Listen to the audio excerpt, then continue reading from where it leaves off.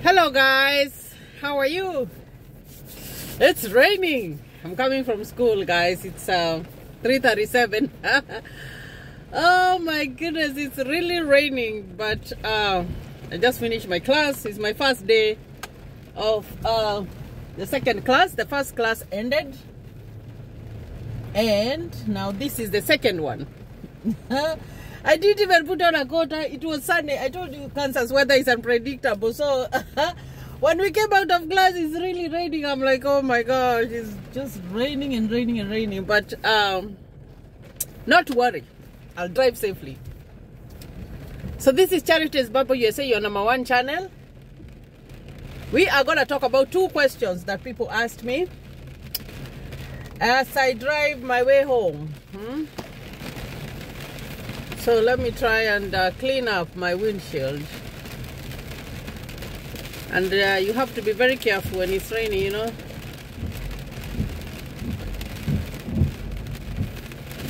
Because it's really raining, and when it rains, oh my gosh. So, guys, uh, one person asked me about uh, the importance of a credit card, and the other person asked me about um,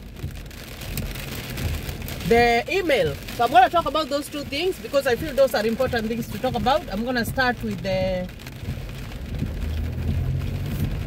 I'm going to start with the email and then I'm going to go to the credit card. So this is Charity's bubble USA. One channel. I'm here. 3,674 subscribers. You guys are awesome. Awesome, awesome, awesome. You know. oh my goodness. So um i really really do appreciate you. And if you haven't subscribed to my channel kindly consider subscribing guys. We are growing. We are growing. And uh, like i said um i'm looking forward to this this saturday's live show. Uh, and then we're going to talk more about different issues. So uh if you haven't subscribed to my channel kindly consider subscribing. You are really really missing out on stuff. So please consider subscribing. Um so person asked me about uh, the email. I haven't gone to the highway yet. This is just a side road. It's just a side road and uh, so my lights are on so that i can see because uh, when it starts raining over here uh, it just becomes uh, not very clear but not to worry. So let's talk about uh, the email address and i have talked about the email address several times. I have talked about the email address several times. Look at that grass. That one is starting to become green but the other one is still not yet there yet. Uh so the email remember when you did your first application? You did your first application and you put in an email. And i said that email you must know the password. You have a smartphone make sure that uh, that email is always open on your phone. Keep on checking it day and night. Because even after you win the DV lottery you come and live here in the US your email will really matter. You always have to check your email. I told you guys that uh, before like I got used to this American life I never used to look at my emails and I was missing deadlines. So I made it upon myself that I have to look at my email at least once in a day I have to look at my email. so um, I'm gonna make a right turn over here. That road is closed. So when the road is closed you don't go there. So this is a stop sign. And I told you guys uh, you have to stop. So you you have to go. When you stop you just have to go by turns depending on the car that uh, came in stopped the first it has to go fast. So you know it's like sequence so guys uh, this side i don't know if you guys can see uh, very well. I don't know if you're able to see because of the rain. This is a cemetery on the on my left. It's a cemetery but i don't know if you're able to see it very well. Uh because of uh it's not very clear. The weather is not very clear. So that email guys you send them an email and then when you have one when you had one and you checked hmm, is that email the, the initial email that's what you use so for your second notification letter because that person was asking uh, which email will i use uh, for my second notification letter Now, for your second notification letter, the email that you are going to use is the one that you used in the initial application. There is no other one, guys. So please make sure that you're looking at your email because right now people are waiting for the second notification letters. That's the main thing right now. So guys, please keep on looking at your emails. Even if uh, sometimes you don't have uh, um, bundles or whatever, which is understandable because, uh, you know, make sure that uh, you can even go to a cyber and just look at your email. Hmm? if you don't have your bundles all the time go to the cyber look at your email. It's very very very very crucial that you are looking at your email. I'm stopping at the light now. I'm, I'm almost to join the highway here. It looks it looks a little bit darker. There you know there's so many clouds out there. So i i felt like i would talk about that. So that initial email it doesn't change uh, make sure that you're looking at it. Hmm? That's why I told you uh, when you did it, make sure that the passwords are, you know, they are up to date because you do not want to miss it. I told you guys if you miss it, if you miss uh, those deadlines, you miss the time because when they send you the second notification letter, your visa is available. They have set, scheduled a date for you to go to the embassy. So if you miss that, guys, and then maybe you will be checking your email like three months later. You will find that that time is gone. And i told you guys you can never miss your visa interview.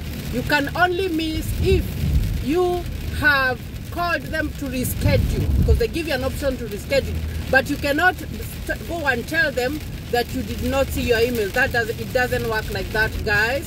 So it's very very very important for you to be looking at your email now the other thing I'm to talk about is credit because, uh, and I, I, know I had done this video uh, a few months ago, but I'm just to talk about it um, just like an overview uh, that, uh, you know, uh, here when it's, when it's raining, guys, when the weather is extreme, you drive uh, according to the weather. You can, sometimes you're not able to, to drive with the speed limit. You have to drive slower because you are not able to see very clearly. Mm? If you look at uh, if you look uh, uh, ahead of me you see all the lights the, the cars their lights are on. But still I can only see just a little bit. So it's very very important uh, to drive at the pace that you feel that uh, you're comfortable. Another thing when you're driving is that if you're driving slower than the, the, the other speed limit you drive on the outer lane. You drive on the outer you stay on the on the outer lane. Now right now I'm staying on the outer lane. You do not stay the inside lane. The inside lane is for uh, people who are want to overtake or uh, people, the cars who are driving faster. So uh, it's very, very important to know that. Now, I was talking about credit. Now, credit means that you have a debt somewhere and that debt you are required to pay. Now, here, uh, the debt, uh, you know, um, I know, um, and uh, I, I don't know if it has evolved. I know uh, things are changing but uh, uh, when we used to get loans, when I was in Kenya, we would go and they would put the money in the bank for us. And then we would go and withdraw. But here, when you come here, you apply for a credit card. Now that card will be sent to you and uh, you can use that money and then you will be paying that money month monthly, every month. They set a date for you to be paying or you set a date for yourself uh, depending on uh, how you get paid. Now, uh, you find that the first credit card that you will get when you come here as a DV lottery person is when you open a bank account, they will offer you a credit card. They will offer you a credit card, mostly it could be $500, uh, which is good to take the credit card because you have to build your credit. What do I talk about? Build, what is building credit? Building credit means you are given this debt. It's a, it's a loan and then you used the money and you are able to pay. You are able to pay uh, the, the debt. Mm? You are able to pay the credit because we have two types of cards. One is called a debit card. A debit card is your money. It's the money that you are paid when you work and it goes to your bank. So they will give you a debit card. Now debit means that is your money. Credit means is the money that you have you have borrowed. You can borrow to do something. It's always good uh, when you come here in this country it's good to have a credit card because you want to build your credit. And why are you building your credit? You're building your credit because you're building your credit because you will want to buy a nice car. You will want to buy a nice home. Hmm? And well, unless you have cash, which sometimes is very hard uh, to have cash to buy some stuff. Like for example, if you want to invest in a new car, you find that you will not be able maybe to afford to have $20,000, $30,000, $40,000 in cash, depending on the type of car that you want to buy, especially if you are, you know, you want to buy a new one. Because after you stay for a while, you'll be like, let me go and buy a new one, you know. Because, you know, a new one will give you more service, uh, it, it has warranty, and it has all the good things. Of course, your payments will be higher, but still, uh, it's, it's okay. Hmm? You want to buy a house.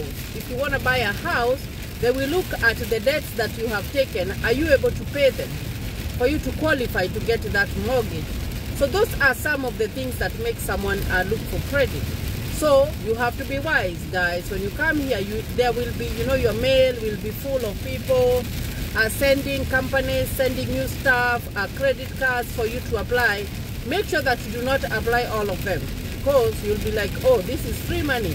But remember, that money has to be paid back. Hmm? And uh, of course, they are very fair.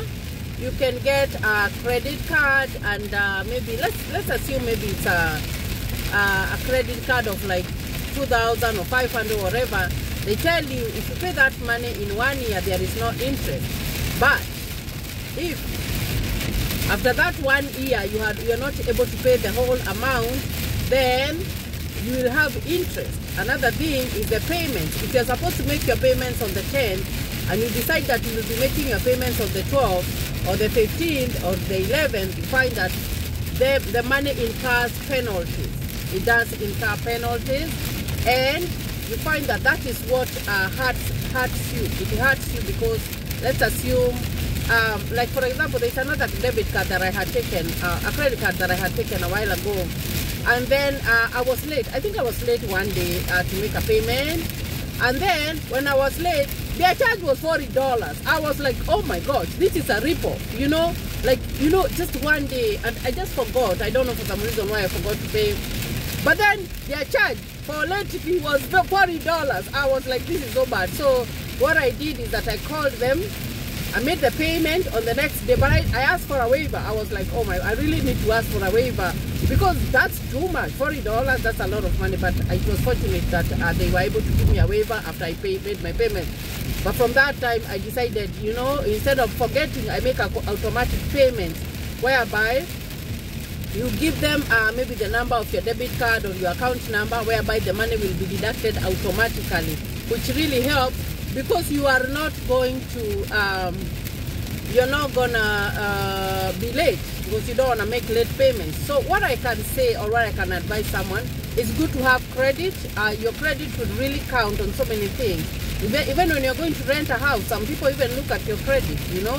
They look at your credit score uh, and even maybe you might want a loan necessarily not even to buy a house or necessarily not even to buy a car. You might want a loan to do something else to develop your house to you know all that stuff. They always run your credit. They check. This person how many debts have, have they had? How what is their payment?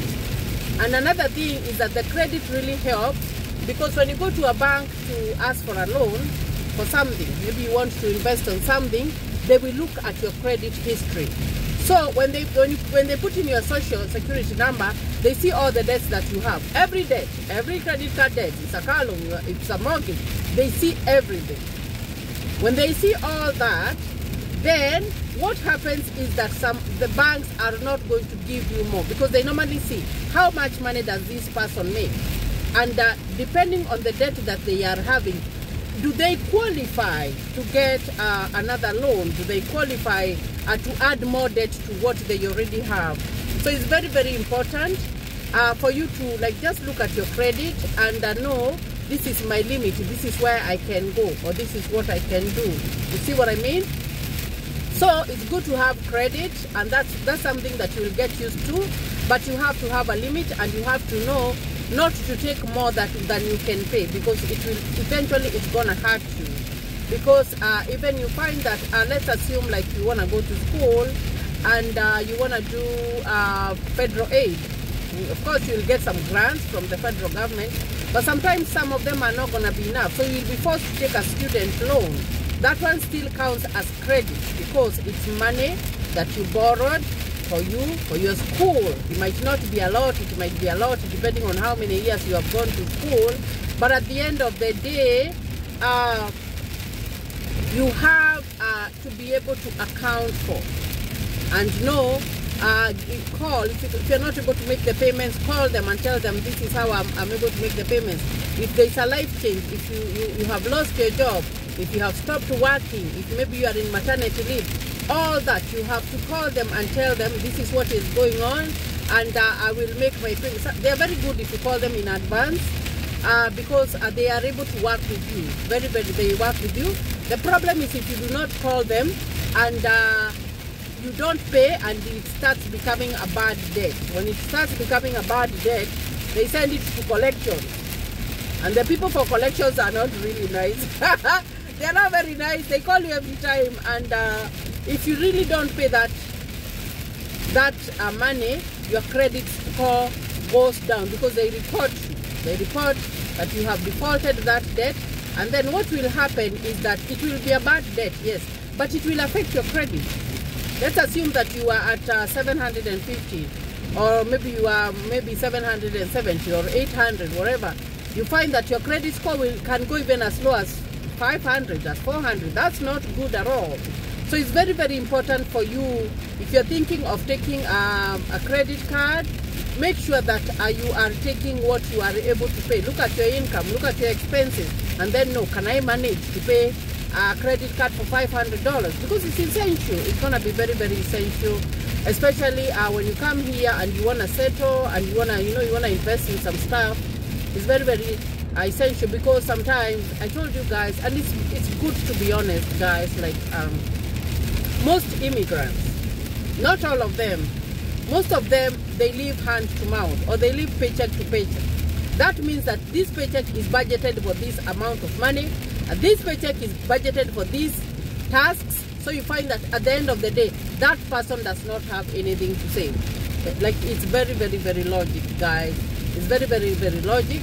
Um, sometimes you can work very many hours or whatever, which is okay. But you find that if you are at a minimum wage, you are living paycheck to paycheck.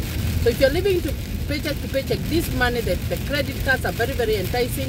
You will take the money, and then if you are unable to pay, it's gonna come back and hurt you. So it's very, very important for you to know how to be paying your debt. Let's talk about something else like a hospital debt, because uh, you might have a hospital debt whereby yes, you have insurance, have medical insurance, but there's something called uh, when you go to the hospital, you make your copay, and then the insurance pays some, some amount, and then there is the patient responsibility, the money that you're supposed to pay. After the insurance has paid, there's a little bit of money, a percentage of money, depending on the type of insurance that you're having. Hmm? Because it depends. And you find that if you're having insurance, the more premium you pay, the more money that you're paying every month towards your insurance, uh, it, it, makes your uh, the, the, money that you pay back for your hospital bills, it makes it lower. But if you're paying very low, or you're not paying nothing at all, because the insurances that are like that, you find that uh, when the when the when the bill comes in, it's gonna be high. So you have to look at all that when you're looking at your insurance. Now, what I'm talking about is that they will send you a bill from the hospital. Now, the bills from the hospital, you can manage them very, very well because what you do, you call them, and when you call them, uh, you tell them to give you a payment plan. They normally give you a payment plan, and even those credit cards, if you are struggling and you're unable to pay, they will give you a payment plan. And then that payment plan, they will tell you, uh, they will they will take the amount and they will divide it into a, a specific time. And then after dividing it to a specific time, then they are gonna tell you you'll be paying like fifty dollars, you'll be paying like thirty dollars, you'll be paying like whatever dollars that you're paying. As long as you make the payments every month and you do not default, it's it's you know it's it's crucial that you are able to do all that. So I felt like I would talk about that and expound more. I know my my my my last uh, video I didn't talk about the bills and all that dynamics so it's very very important another thing is that you can have your bills and you're struggling to pay because those things happen you know they do happen so if you're struggling to pay something like uh, like the electricity bill you find that when the conditions are extreme when it is winter it's cold you find that uh, your, your, your electricity is not going to be turned on. They cannot turn it on because you have a bill. They cannot do that. But, you know, winter is not forever. Another season is to come and then they they will turn off your electricity if you have not paid. You know they will turn it off. So what do you do? You find that if you have a big debt what you do is that you call them and they give you like a payment that you will be making. They tell you that uh, it's a payment plan that you will be making like $200 every month and at this date you have to make that payment.